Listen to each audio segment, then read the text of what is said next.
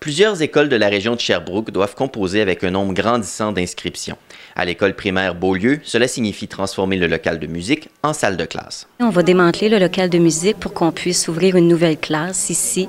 Donc, euh, ça va nous permettre d'ouvrir une classe et de maintenir, euh, de garder euh, environ 25 élèves à l'école Beaulieu, plutôt que de les passer dans, un, dans, un, dans une autre école.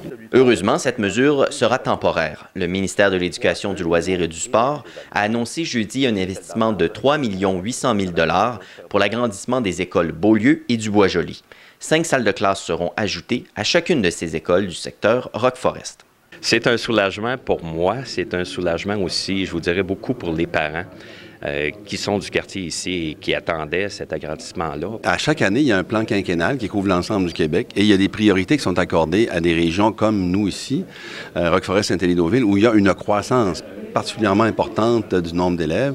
Et donc, l'année passée, on a annoncé deux écoles. Cette année, il y en a encore deux.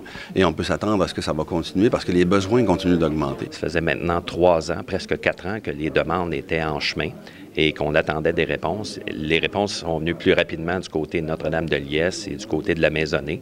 Il faut comprendre qu'au nombre de demandes que le gouvernement reçoit chaque année, ils font des choix. Plusieurs écoles de la région manquent d'espace. La commission scolaire attend des réponses à ces demandes de financement. Dans la première portion des demandes, il nous reste présentement qu'à l'école d'Eranlo où nous n'avons pas eu de réponse. Nous venons juste de déposer au niveau du plan quinquennal la demande de l'agrandissement de l'école euh, de Saint-Denis de Brompton.